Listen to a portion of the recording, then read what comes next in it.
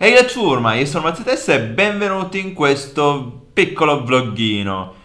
Vloggino per determinare un po' quello che sarà l'avventura multiplayer su Mindtest. Me ne avete parlato in molti e come avrete sentito negli scorsi video di Mindtest ho una mezza intenzione di iniziare qualche partitella diciamo con voi in multiplayer su un server pubblico. E eh, quindi niente, questo è un pochettino per organizzarci.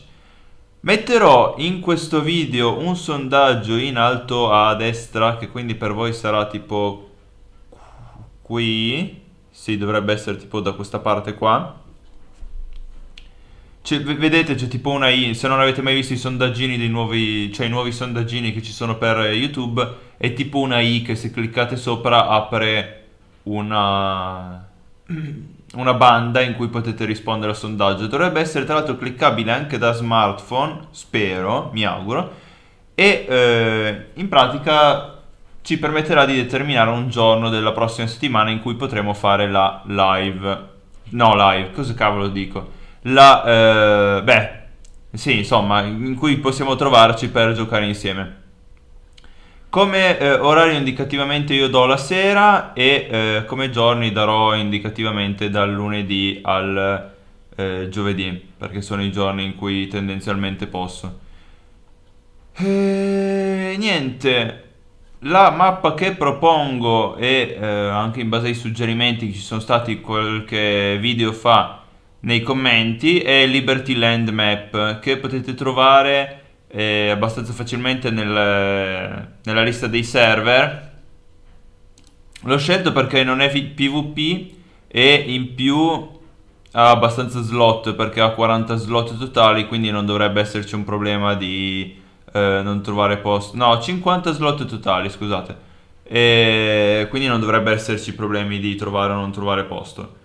C'è mm, parecchio che è già costruito, non conosco tantissimo bene il server, ma ci ho fatto un giretto e mi sembra carino. Potete inizia- iniziare intanto a vedere un pochettino come la zona, a vedere se ci sono delle zone interessanti in cui si potrà andare a costruire tutti insieme.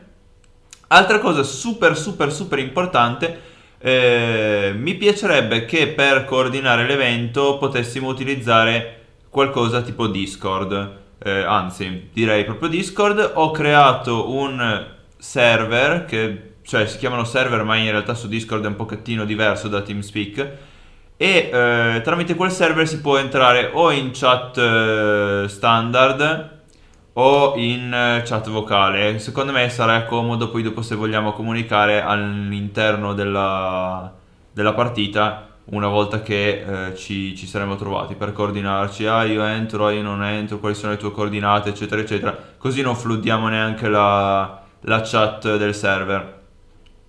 Per questo server eh, Discord metterò il link in descrizione o in sovraimpressione se possibile, eh, vedrò anche un po' delle magie dell'editing, cosa riesco a combinare.